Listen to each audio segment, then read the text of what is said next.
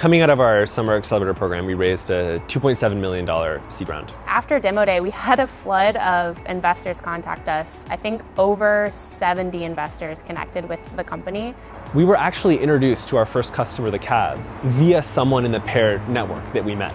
Several months later, we were able to sign a deal and then announce that partnership. But it all started with a Pear connection.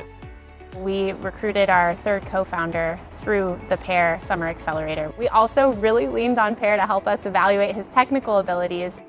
So Pedram, um, one of the newer partners at Pear, had been helping us completely figure out our engineering hiring process. And so after you know running engineering teams at places like Uber and Facebook for many years, he has so much experience on things like how do we conduct an interview process, finding the right candidates, getting them into the pipeline, and even closing that offer. So in fact, he's been making introductions for us to candidates as well as convincing people to join the team and being helpful in literally every part of the hiring process.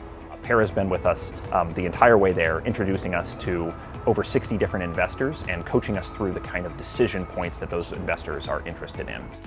They'd had the experience of helping founders from the first day through to IPO. And so as first-time founders, as we were starting out on our journey, we wanted to just move as fast as we could and really pursue this opportunity that we believed so deeply in.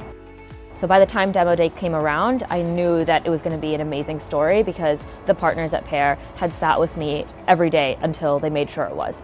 Within two days of the demo day, we were already securing a lead investor from one of the top consumer VC firms in the industry, and that came from an introduction directly from one of the Pear partners. They don't bring on hundreds of different companies in their summer program. They have 10. So that meant we were going to get really personalized attention and help Pear Accelerator is definitely better than other accelerators in that it's such a small cohort size. So we got immediate and direct access to all of the Pear team, the partners. Every week we had meetings with them. Um, and getting close to someone like Mar, the managing partner, is, is really rare. And so we had so much support from the partners early on and throughout the journey.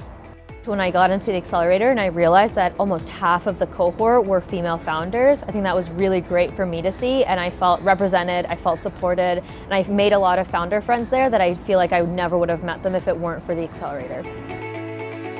Pear is there around the clock from midnight text with Pejman to hopping on a call with Ajay to show him our newest ecom site. They're always there. In a very short amount of time, I feel like I learned years worth of information about building a company and growing a venture. We think of Pear as an extension of our team that has the benefit of having done this many, many times.